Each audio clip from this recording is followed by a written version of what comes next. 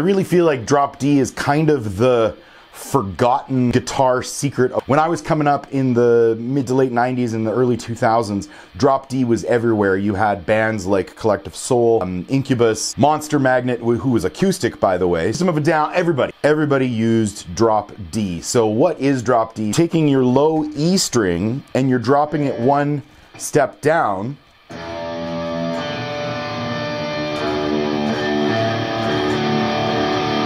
and you're turning it into a D. So you're dropping the E to a D. And what does this do? It does a couple things for you. Um, one, it basically allows you to play a power chord with a single finger.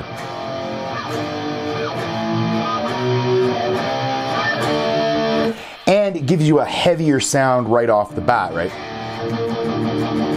So if you want to play heavy music or you want something to sound extra low and grunty, this is a great tuning to use. And what's happening now is most guys are actually just tuning their entire guitar down one step or two steps or a step and a half or whatever. This is kind of a nice midway point and especially for beginners it's really easy because what you can do is now you can sing and play with just moving one finger.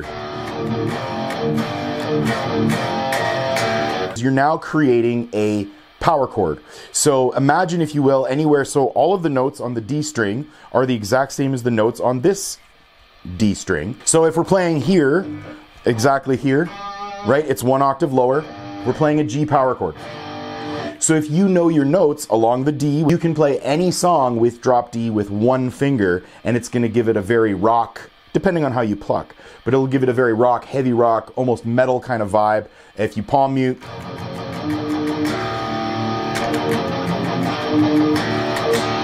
and you can do more with it than just that when you're playing a song that's in D, you get this great, a very full sounding, lush chord. Fat Bottom Girls, for example, by Queen uses this tuning.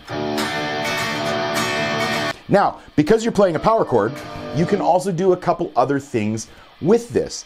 So just like when you're playing a power chord and you want to substitute something like this, right, where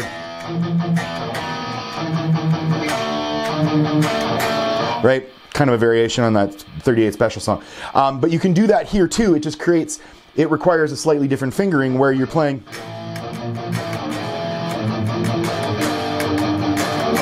Augmented power chords if you want, right?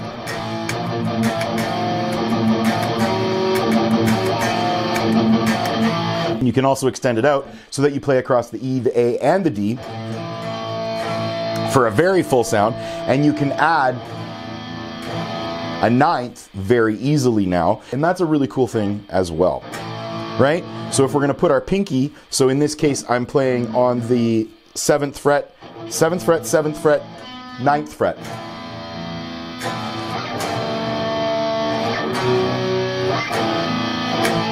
Ninths are cool because it uses the, the first, the fifth, and the ninth, or the second if you want to call it that way, but none of those tones are chord informing tones, i.e. it's very neutral, so it could be minor, it could be major. If you haven't yet, check out this video where I give you the top three pieces of music theory that I think that you should know to be the best guitarist that you can be in 2023.